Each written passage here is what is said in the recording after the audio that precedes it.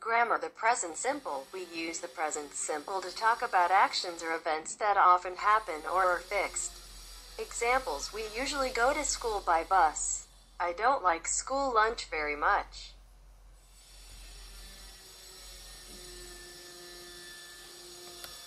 Văn phạm hiện tại đơn, chúng ta sử dụng thì hiện tại đơn để nói về các hành động hoặc sự kiện thường xảy ra hoặc cố định.